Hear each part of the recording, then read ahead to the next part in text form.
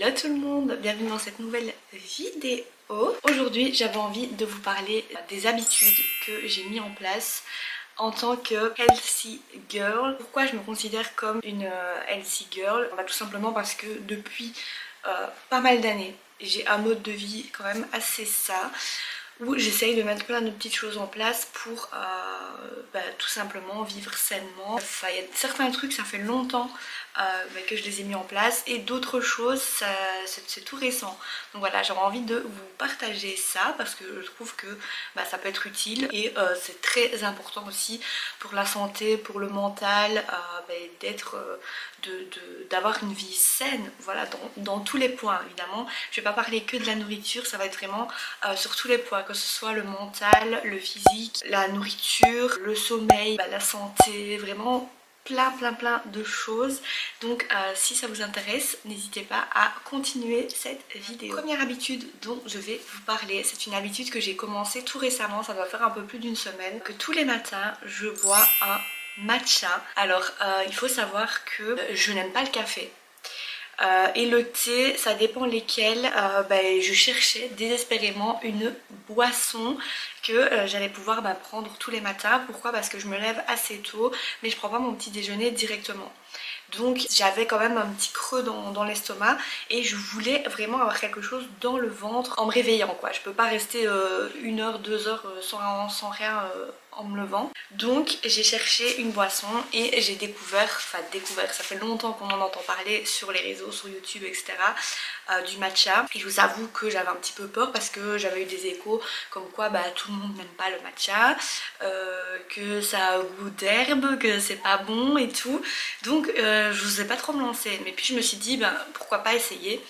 Donc euh, moi j'ai commandé apparemment le meilleur matcha, voilà j'ai cherché des vidéos et tout. Et c'était celui de chez Anatae. Et euh, je dois dire que j'ai vraiment hésité parce que je trouvais ça cher pour le petit pot, je crois que c'est environ 30 euros ou 35 euros. Mais euh, ben, je me suis dit qui ne tente rien à rien donc autant, bah, autant tester quoi. Du coup bah, j'ai testé, première fois j'ai détesté, mais vraiment détesté.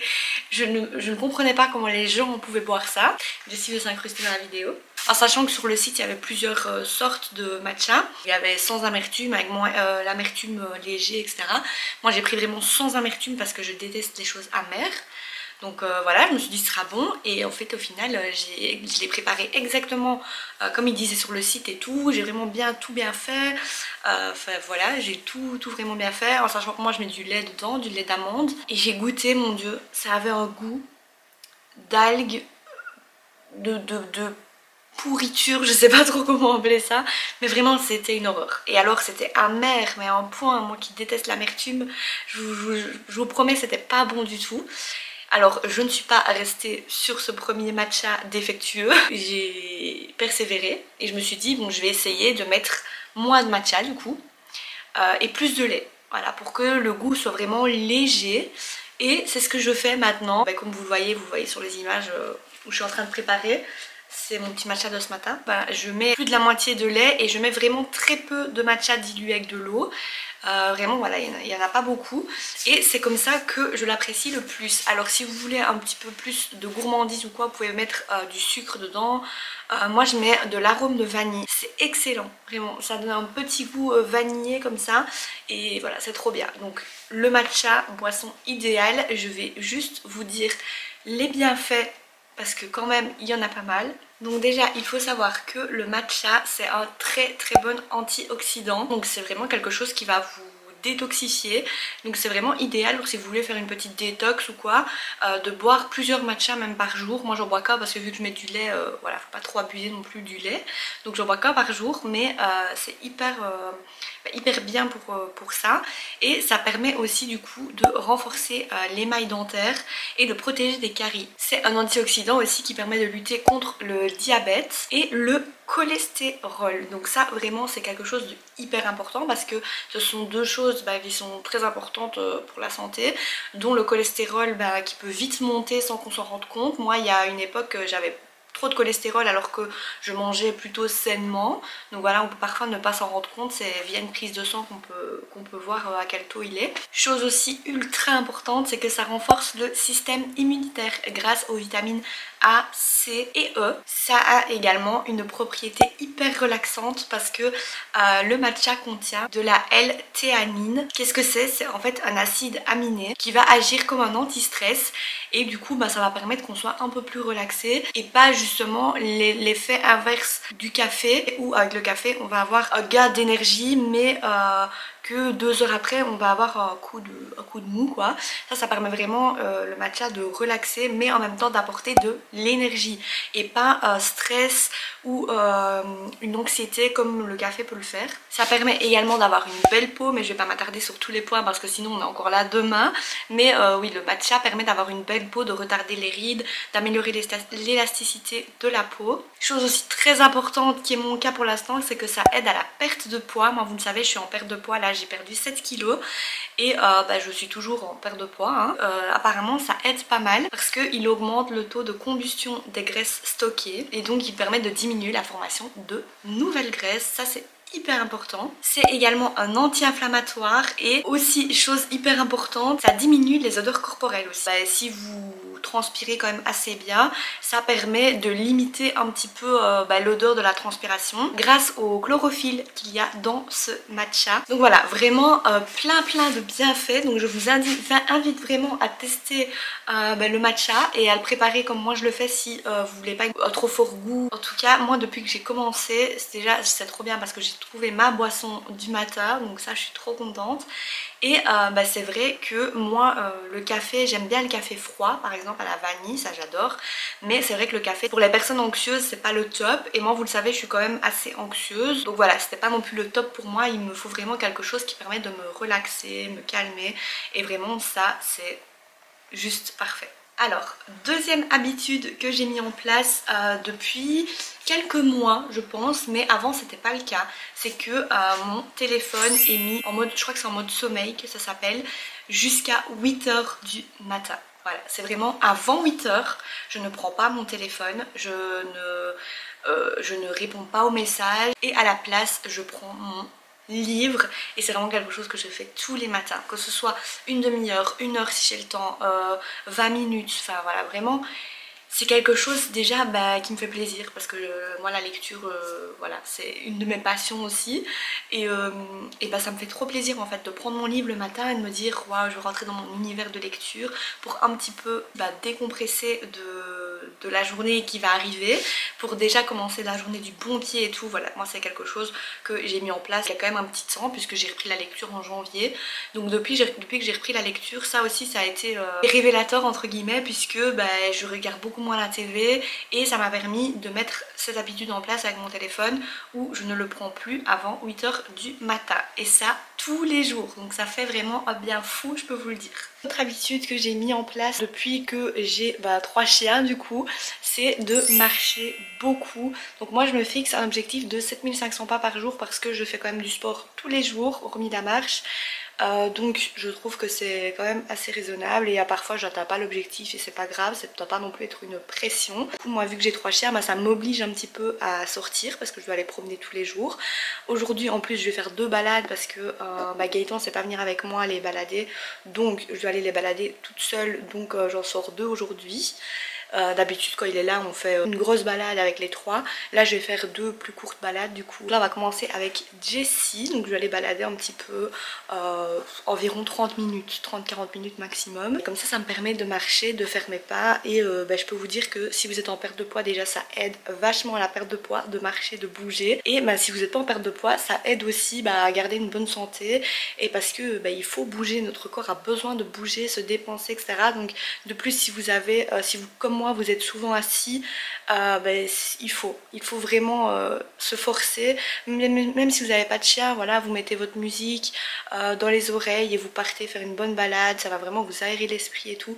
voilà, c'est la marche, c'est vraiment le top, surtout si vous avez un beau cadre autour de chez vous. Moi, je vous avoue que mon cadre est pas non plus dingue. Ayant trois chiens, ça m'oblige à y aller et bah, du coup, let's go.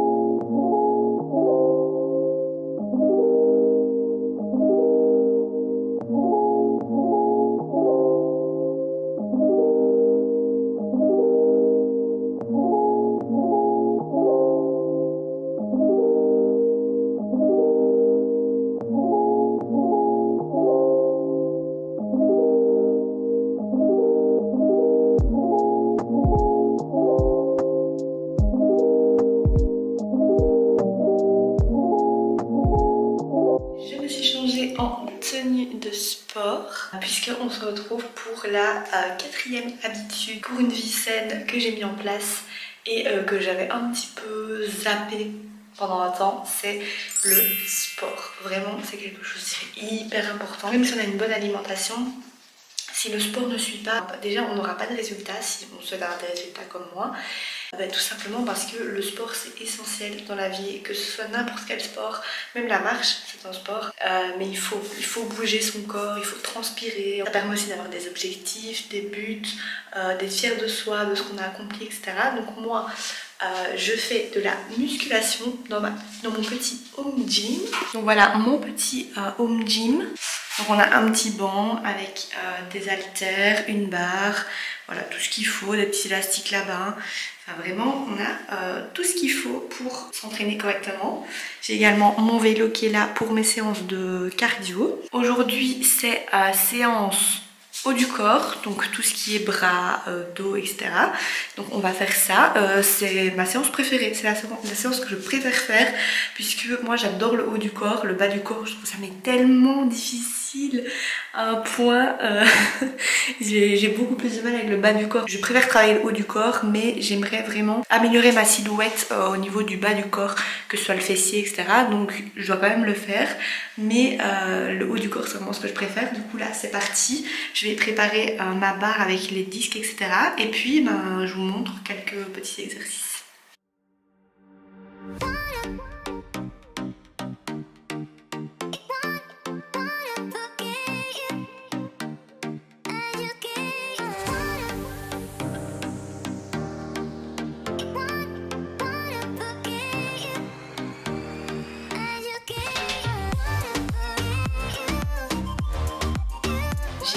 Oublié de le préciser, mais je suis un programme personnalisé de séances de sport, etc.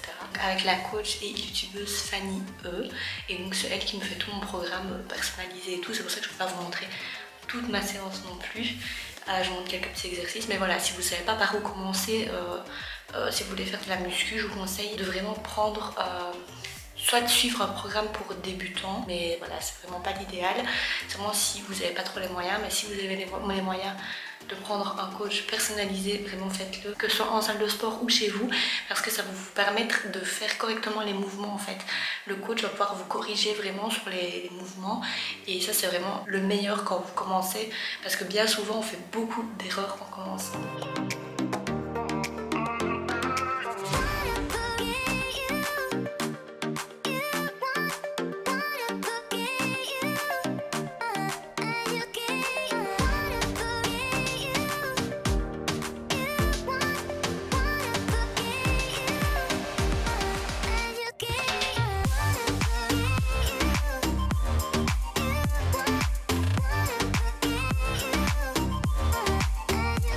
Désolée, je suis un petit peu à contre-jour là, mais euh, j'ai pas trop le choix parce que c'est le meilleur endroit pour poser la caméra. On va terminer la séance de sport par un truc normalement que je fais le matin, mais euh, cette fois-ci j'ai complètement zappé. Et euh, c'est aussi une habitude que j'ai prise bah, grâce au coaching, parce qu'avant je savais ce que c'était, etc. Mais c'est vraiment Fanny qui me l'a intégré dans ma, dans ma routine d'entraînement c'est le stomach vacuum. Donc c'est une pratique euh, bah, qui nécessite de inspirer et rentrer le ventre au maximum et puis d'expirer en rentrant plus le ventre. Voilà, ça permet d'avoir un ventre plat, bien, gainé. Ça aide aussi à la digestion. C'est aussi bah, une pratique respiratoire. Donc ça aussi, ça aide à la respiration, à euh, vraiment contrôler sa respiration. Euh, ça a un effet apaisant, vous voyez, un petit peu comme la méditation. Donc voilà, moi je fais ça pendant 5 minutes et euh, ça passe hyper vite. Franchement, c'est rapide. C'est cool à faire. Moi, un petit peu de, de musique relaxante et voilà, ça passe tout seul.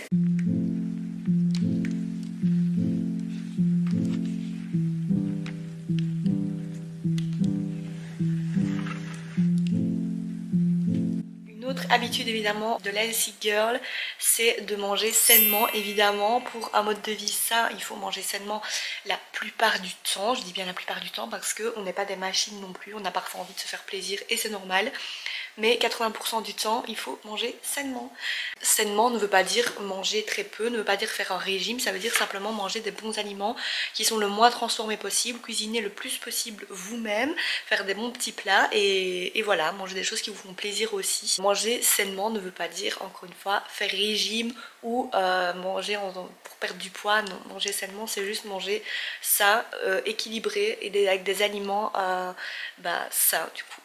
Donc là mon petit repas pour aujourd'hui, alors ça donne pas trop envie vu comme ça mais je vous assure que c'est excellent. Donc j'ai fait ici euh, une petite fondue au poireau euh, avec de la crème, des petites pommes de terre, grenaille trop bon et des œufs brouillés. Le mélange peut paraître spécial mais je vous assure que c'est excellent.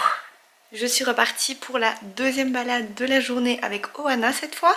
Donc c'est parti pour aller faire les petits pas de la journée.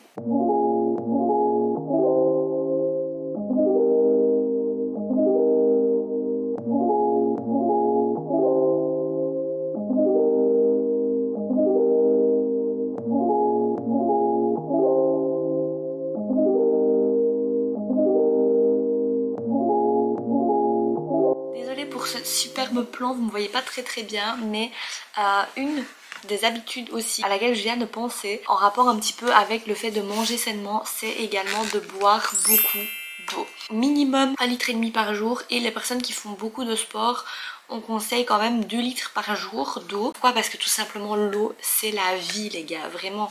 Déjà euh, bah, ça permet d'éliminer toutes les toxines correctement, euh, de faire fonctionner vos reins correctement. Euh, ça a également un effet sur la peau, les cheveux. Vraiment c'est un truc de dingue. Moi je peux vous dire que quand je bois pas beaucoup d'eau, euh, ben, j'attrape une poussée d'acné. Vraiment, c'est un truc de dingue pour vous dire à quel point ben, l'eau a vraiment un réel bienfait aussi sur la peau et que c'est nécessaire et c'est parfois très difficile de boire de l'eau. Moi-même, je le fais pas tous les jours, j'avoue. Euh, c'est pas une habitude encore qui est vraiment ancrée dans mes habitudes mais c'est une habitude que j'aimerais beaucoup mettre en place.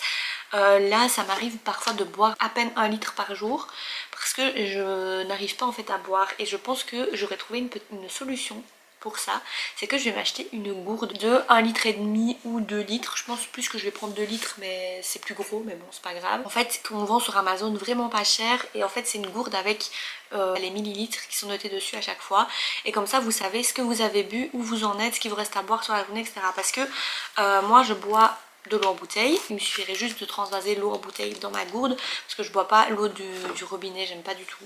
Je bois qu'une seule, une seule sorte d'eau, c'est vraiment très difficile. Et en fait avec les bouteilles, ben, on voit pas. En fait celle-ci c'est un litre par exemple, sauf que bah, je l'entame jamais complète le matin en fait.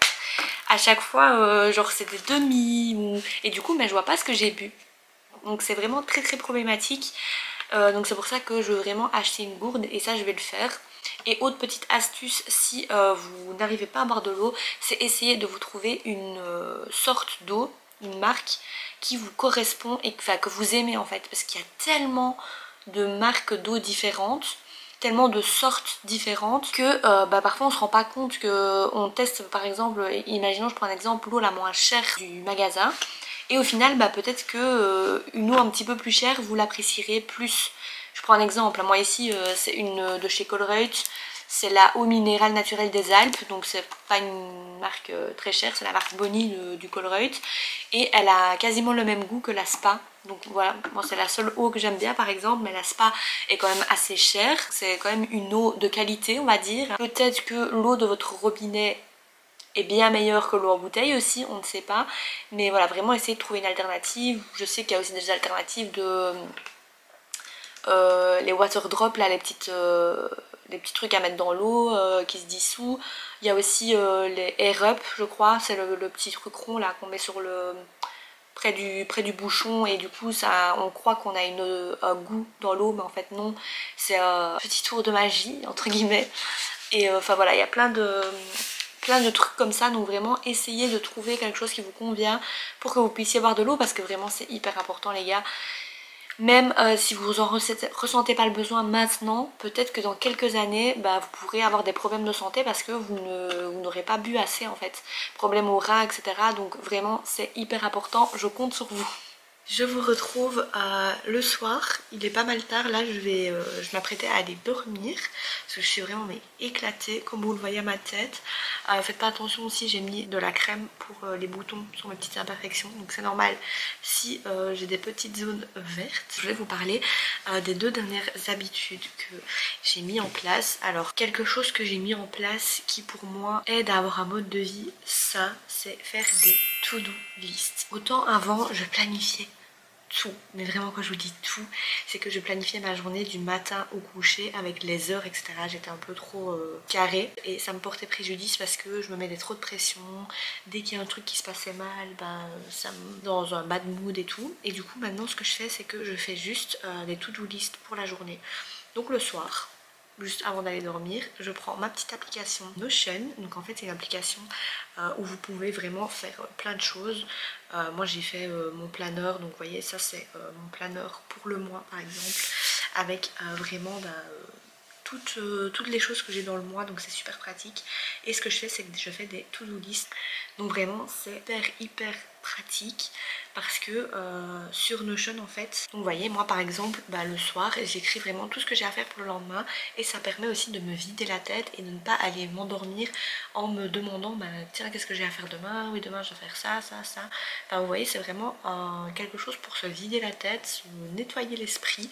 Donc vraiment je trouve ça euh, trop bien. Vraiment noter bah, tout ce que vous avez à faire. C'est une habitude saine à avoir je trouve parce que c'est vraiment hyper utile dans la vie de tous les jours et c'est une organisation mais sans en faire trop. Donc c'est vraiment parfait. C'est juste le juste milieu en fait. Et la dernière habitude, c'est privilégier le sommeil.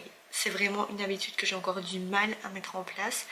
Euh, parce que j'ai du mal en fait à me caler sur un rythme. J'essaye euh, de m'y tenir, sauf le week-end évidemment, mais en semaine j'essaye vraiment de m'y tenir. Vu que en fait je me réveille assez tôt le matin, euh, je vais dormir assez tôt aussi donc en général je vais dormir vers 21h30 maximum parce que j'ai vraiment besoin d'avoir au moins 8 heures de sommeil. J'y viens au moins parce que pour moi c'est même pas encore suffisant. J'ai besoin de beaucoup beaucoup de sommeil euh, parce que je fais de l'hypothyroïdie. C'est une maladie de la thyroïde, un ralentissement de la thyroïde et euh, ça fatigue beaucoup en fait. Ça joue beaucoup sur les hormones euh, de sommeil tout simplement. Donc j'ai besoin de beaucoup beaucoup de sommeil. Donc vraiment pour moi c'est euh, hyper important de dormir assez puisque sinon ça entraîne des maux de tête, beaucoup de choses euh, pas cool. Euh, le sommeil c'est ultra ultra important.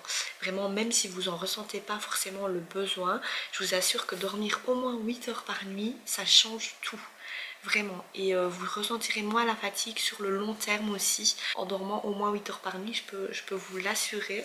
J'espère que ces habitudes d'Elsie Girl vous aura plu. Euh, j'espère que vous aurez appris certaines choses ou que ça vous aura donné des idées ou que mes petites astuces euh, bah, vous aideront dans la vie de tous les jours. Ces, ces petites habitudes m'ont vraiment aidé à devenir la personne que j'ai envie d'être et euh, une personne saine que ce soit mentalement et physiquement puisque ça n'a pas toujours été le cas. Il y a eu un long long long chemin avant d'en arriver où je suis à, cet état d'esprit euh, quand même plus ou moins positif et, se sentir bien dans sa tête et dans son corps. En tout cas n'hésitez pas si vous avez des questions sur quoi que ce soit n'hésitez pas à me demander en commentaire. Euh, je répondrai avec plaisir. N'hésitez pas à vous abonner si ce n'est pas encore le cas. Et moi je vous dis à la prochaine pour une prochaine vidéo. Bye bye